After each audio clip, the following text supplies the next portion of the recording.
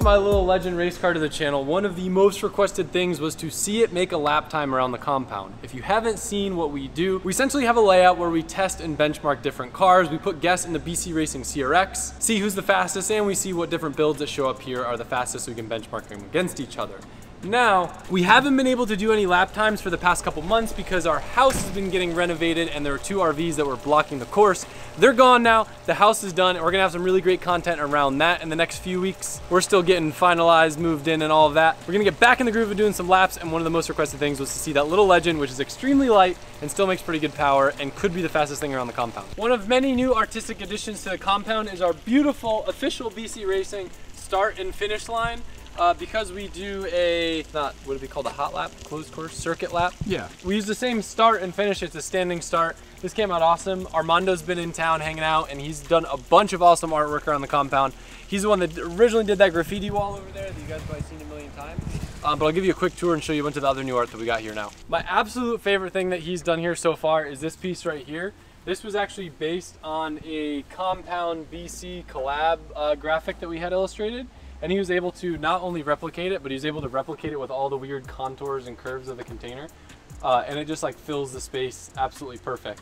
And then this over here, um, so technically speaking, these are both graphics from other BC logos. We use a lot of different like palm trees and stuff. And this is a BC Racing uh, like coilover wrench. This is a placeholder in the middle. Basically what we have are different signs this is the old one over here. And the idea is we're gonna be able to transition these when BC has different like themes and initiatives. And that will essentially just cover this center BC Racing logo, but you'll still be able to see the spanner palm trees. Kind of cool idea. And that way, if they have like special initiatives and whatever, we can just rotate the sign on the container. Another cool little piece is on this little corner wall over here.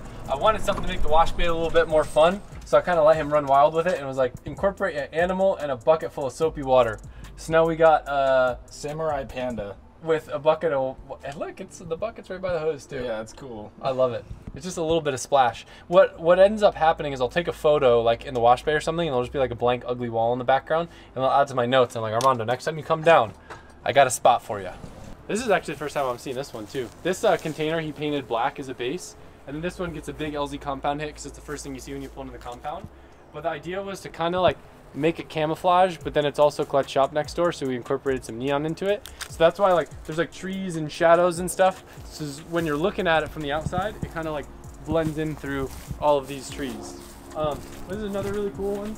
This is Colette's side of the uh, old generator. And it's cool because when you walk around here, there's like a sideways like pink and blue that goes to the old piece of art that he did here, which is one of my favorites, the little LZ Speed Racer guy. Yeah, this is sick. Hopefully this is interesting to you guys. I love art and it's so cool to like drive through the compound and see all these like little pops of colors and things. Um, and I haven't properly documented it yet because it's just been such a crazy week and we've been just wrenching on E36s the whole time. But uh, this is, he killed it. Last but not least, we got a little Drift HQ hit over by the Drift HQ shop. Armando loves doing animals, so we let him run wild with this one. He gives a big, thick crocodile. That's so cool or maybe maybe it's an alligator. I don't really know the difference. Uh, cool. And like this is the pond with the gators. We haven't seen them in a while. Mm -hmm. We got otters back though. Yeah. Should we see if we can spot an otter before we go do our, our hot lap? We could try. All right. Shout out Armando. I'll put his Instagram on the screen. Kills it. Dude, super talented with art. If you ever need any graffiti work in your local, he's from the Atlanta area, but he's down to travel. What's your uh, what's your tactic here for tracking down this otter? I don't know. I guess it'd be easier just to put the video from our group chat in where we actually saw him, but.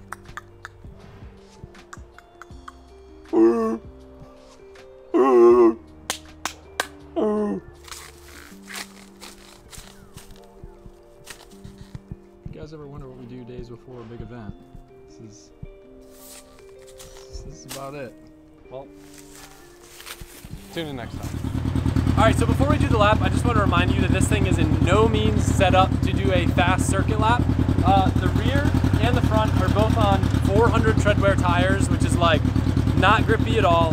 The front has a ton of camber and whack toe settings in it to make it good for drifting. However, it does weigh like 1,200 pounds. It still makes, I think, like well over like 100 horsepower. So just the weight alone, it should be really fast. I set the tire pressure low. We're not gonna see the fastest legend lap that could happen here, but what we are gonna see is how fast will a car that's this light actually be. Um, I'm, I'm gonna wager and say that it's up there, but it might take me a couple laps to get comfortable with the idea of braking and handling something like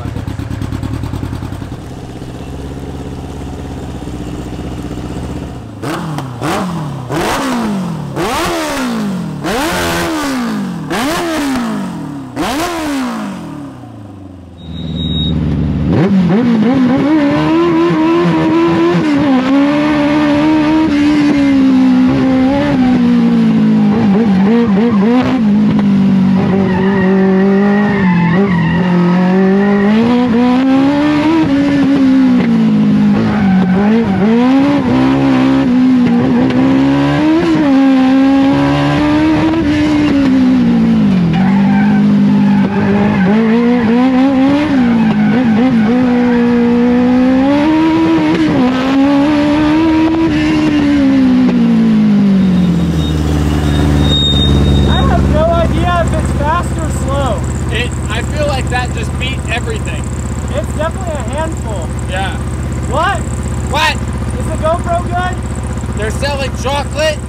Guys could tell, but uh, definitely wasn't running so hot lap number one. So rather than hurting it, we're gonna take a look at it. It seems like it's either going rich or going lean, and there's some weird like grounding issues. So um, it's got 11 volts on the battery. That- well, let's see if, if it starts from the battery now. That means that solenoid fixed it. Battery's dead. It was weird is like we can start it right from the starter, but when we put the jump pack on the battery, it doesn't start. Which shows us something's going on in the wiring, which maybe would explain like coils aren't getting like full juice. Oils. Yeah, coils. Oh, coils. Try again. Yeah, battery's gone.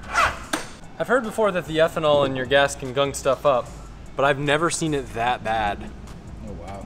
That's insane. So in these tiny little jets, it's sucking up all that trash.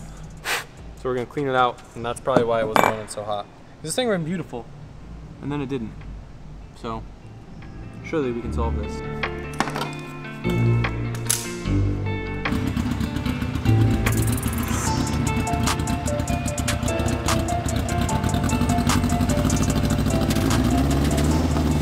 I don't know how it happened, but we also checked the front toe, and the front toe is super toed in. So we made a quick adjustment to that. So between that and the car running right, it should save off a significant amount of time.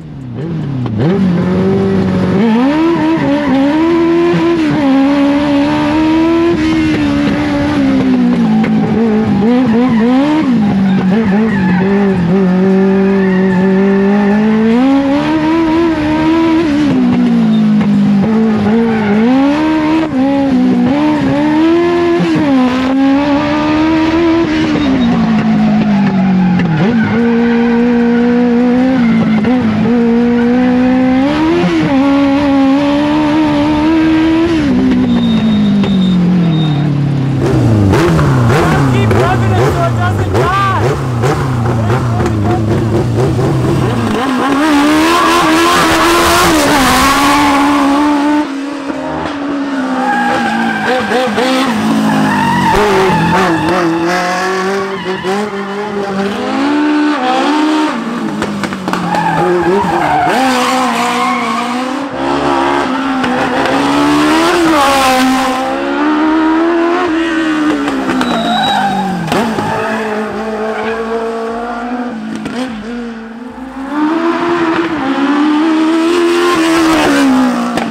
Surprisingly, we have the legend coming in eighth place with a 3116. Puts it smack dab in the middle of our giveaway RX7 and the giveaway RB26 R33.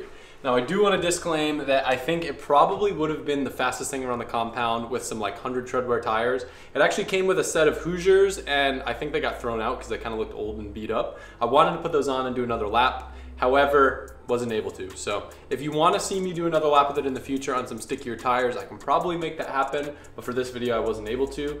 As a reminder, the time to beat, still the 2919 from the 992 Turbo S. I think, I think though, if I put my Evo on slicks, I think it could do it. I, That was on street tires. yeah. So speaking of lap times, we do have something that you may or may not have seen in the background that could potentially shatter every single time on this board. Uh, and I'm gonna explain to you why it's here. Surprise, it's me in the middle of the video, hello. LZ World Tour is this weekend, Bakersfield, California. It's gonna be absolutely epic. We got a hammer guest list. We got a fire guest list. Uh, a lot of great drivers, gonna be lots of good times, great battles. It's gonna be awesome. The venue is amazing, and I'm excited to see you guys there. If you haven't got your tickets, go to lzworldtour.com. In the description, we got all the information, VIP packages for all the different drivers, and by getting those VIP packages, you are helping those drivers make events like this possible. Look at this, the most beautiful event shirt I have ever seen in my life with the brand new freshly wrapped car, designed before the car was even wrapped. So if you notice some small differences, that's how cool. I think it's pretty cool that usually the shirt comes before the car's even wrapped. That's so crazy. Um, these will only be, well, no, they're actually not gonna only be available at the event. I was gonna try to build some hype to, to make you guys come to the event, but they'll also be available during the event on Saturday. We'll launch them online as well. Uh, it's a front back print, got tees and hoodies uh, with this amazing graphic, and I hope to see you there. I got a video. Behind me is the Pleasure Evo. If you uh, watch Tommy FES channel or if you are a fan of hill climb, you might be familiar with the car. It's a pretty epic Evo. Uh, it's got a Ralliart dog box in it, full legit cage. It's got hydraulic bump stop suspension, makes 500 horsepower, the built 2.2 4G. And uh, the reason why it's here is Tommy is convinced that I would buy the car after I drove it. Now, the reason why it's on the lift right now I did that rally event where I was zero car and I drove my GTR and I got to go on a rally stage. And from that point, I cleared out my calendar on all the rest of the rally stage days for the rest of the year because it's something that I, it just, it was so fun. I'm like, I need to do this again. And I wanted to come back with an actual rally ARA legal car that I could race. Now the Safari GTR, which we'll walk over to right now and kind of talk about briefly, um, it's a great car in its current form and like two, two schools of thought. One, it would kind of ruin the safari-ness if I turned it into a proper rally car, and it would also be really expensive. So like on a super, super, let's just say simple, simple basis, it needs a whole safety overhaul on the inside. Namely, it needs a ARA specific cage instead of the bolt-on thing. Um, I would need to convert it to smaller brakes so I could put 15s on it. Uh, I would probably need to reconfigure the suspension again, ditch the roof rack, beef up a lot of stuff. Um, I haven't done like a full download on this car since the last time we had the event, but I did bend a lot of stuff. So this car, I would say probably needs, with labor, 15 to 20 grand to make it ARA compliant and to be able to race it. And then it also loses all of its appeals as a safari car. So the Pleasure Evo, Tommy didn't send to me to make it into a rally car. He sent it to me because he's like, yo, this thing's gonna everything up that you have ever done a lap around the compound. And I was like, bet, send it down here and we'll see if it does. So I think he's either actively listed this car or maybe is just pre-offered a pre-sale to me. It's a really fair price that he wants for the car. And I do think that this has the means to be faster than everything else. My Evo is the second fastest car. This is on a slightly bigger tire than I had on my Evo. It probably weighs about 100, 200 pounds less. This thing uh, weighed in at 2,500 pounds. Um, the 2.2 should have more mid-range. The dog box has close ratios. It should be faster on paper. Um, if you guys want to see me do a lap in this, it's not to be in this video, but let me know in the comments. That'll give me a little bit more ambition. Um, I actually have to fix a couple things before I do a lap time in it. That was part of the, the condition. It needs a little bit of fab work just in it like lost an intercooler pipe. It flew off when Tommy was racing old guys on the highway or something. Um, but yeah, it's a really cool car. Uh, I'll lower it so you guys can see a little bit more. Um, but after speaking with Dave from Rally Ready, he's, he's actually a really big fan of this car and he advised me against using it because what I learned is there's actually uh, a weight rule which this car would need a lot of ballast and there's another rule where you have to put a restrictor so the car like basically is limited at a certain amount of power. So this is like, it's way too much car for what I need to do with it. And by the time I like put rally gravel brakes on it and everything, again, like making this car compliant still probably gonna be five to 10 grand. And then I'm also taking a car that's like a pretty legit hill climb car and kind of ruining all the stuff that's good about it. So not gonna be this car as a rally car, unfortunately. Um, look at the inside though, pretty legit. It's got a really nice cage in it. It's got a handbrake, Ralliart dog box. Simple, but, uh, but effective. Now the other, the other thing would be my Evo 6.5 TME RS. Uh, that's been the most commented thing that I've seen whenever I talk about rally cars. I'll explain that really quick. I guess we'll go over with the car because it'll make more sense if I point at it while I'm talking. Um, so let's go, let's go over and look at that thing. All right, so this is my TME RS. Um, if you aren't familiar with these cars, the 6.5 TME is a pretty rare version of an Evo. They usually go for like 50 grand or so. The RS is even more rare. Uh, there's only 200 of them. Most of them got converted into race cars, so one that's not completely trashed, I would say is worth probably 70 grand plus. This one I got for a steal because it was converted into a race car, but it wasn't rallied. It was just used for like some circuit stuff, so it was in really good shape. This cage would not be ARA compliant. It would need to be modified.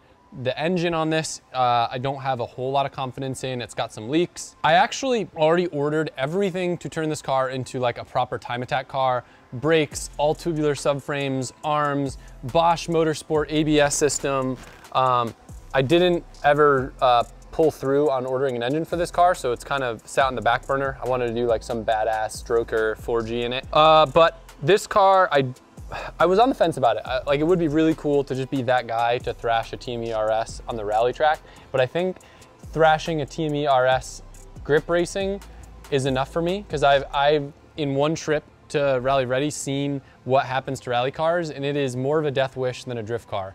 Like the gravel just totals the chassis. Um, the likelihood of hitting a tree is extremely high. And still, not only is this an expensive base car, it would probably, again, cost upwards of 20 grand to make this car ARA compliant. There's gonna be people that know more than I do, and they're gonna be like, well, you could do it on a budget for this much and this much. What I've decided is going to be the most economical option is buying a Subaru. I feel like Subaru people will be really stoked to hear that. Yeah. But for me, I'm like, man, it would be really cool to show up at the rally course and have something that is not the same as all the other Subarus out there.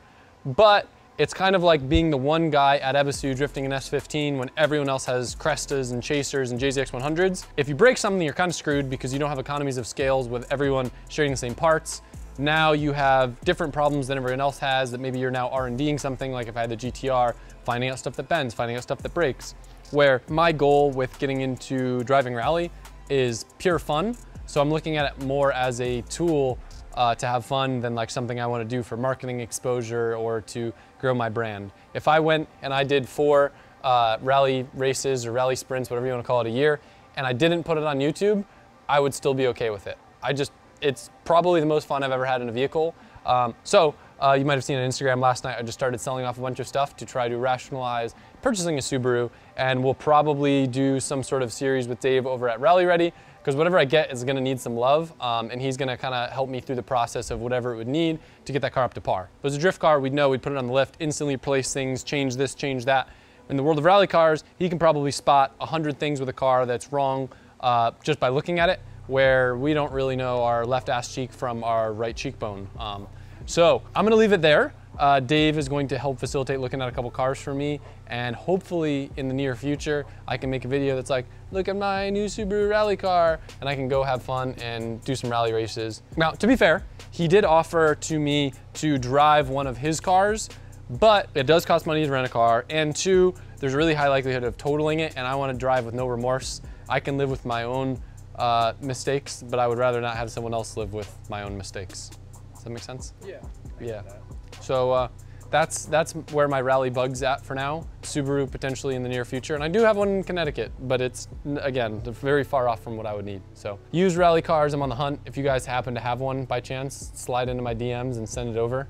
But uh, if it's listed on Marketplace or online, I've probably already seen it. That's it for this video. Uh, quick one, we're about to head off to LZ World Tour. If you guys haven't got your ticket yet, you're not coming out yet. It's gonna be a blast. All the homies are going. I'll put the flyer up on the screen, stack driver list. Track's gonna be amazing. Good vibes. Come out, have a blast, and we'll see you there.